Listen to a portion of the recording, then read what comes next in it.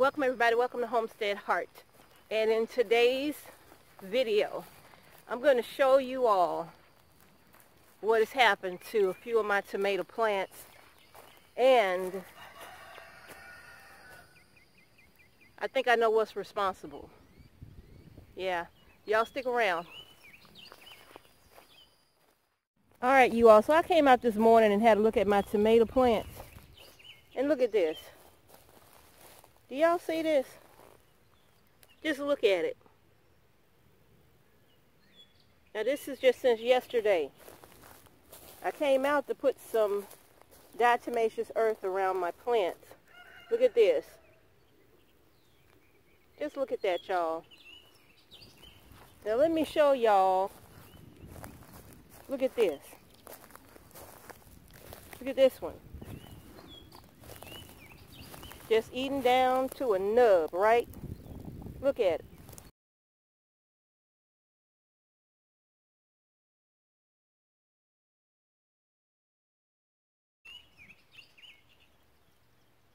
All right, you all. Do y'all see him? He is the culprit. He is the reason why my tomato plants look the way they look. Right? Now, in just a day, in just a day, these tomato hornworms, look at them. These things will destroy your plant in just a day. Look, that's one, right? That's one, right? Check this out. Let's look right here. How about right here? How about him? That's two on one plant. Two on one plant. Now, yeah, I'm going to take them off. And they going right over to my chickens. See here? That's one. There. I'm going to come up here. And that's two. One plant. Two hornworms and you see how well they hide. I mean, just walking by this plant, you can't even see them just walking by. But they will destroy your plant in 24 hours. They can take out your tomato plants. Look at this one. Look at this. Okay, yeah, let's take him off. Look at him. You don't like that stuff, do we? No, he's upset. Okay, you all, so I brought them in the barn where it's cool at because my camera can't take the heat. It'll shut off in a minute. So just look at these things. And even on the leaf, still, he don't want to let go of the leaf. Look at there. He still don't want to let go. Look, he ain't going down without a fight, right? So no, these things, I mean, just look at them.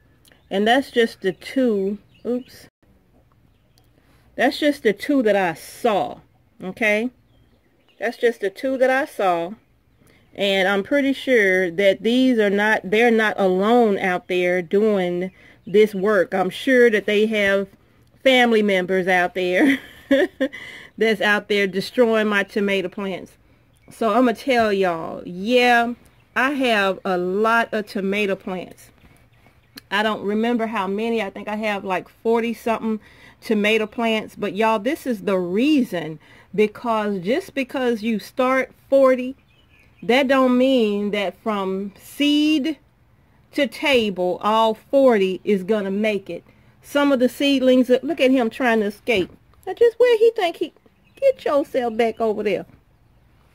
You know all of them might not make it you know. Some of them might not make it from that itty bitty seedling stage right?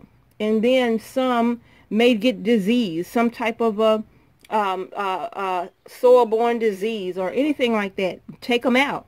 And then you put them in the ground and then you have slugs that can eat them up from when they're very, very small. And then you have these guys you got to worry about too.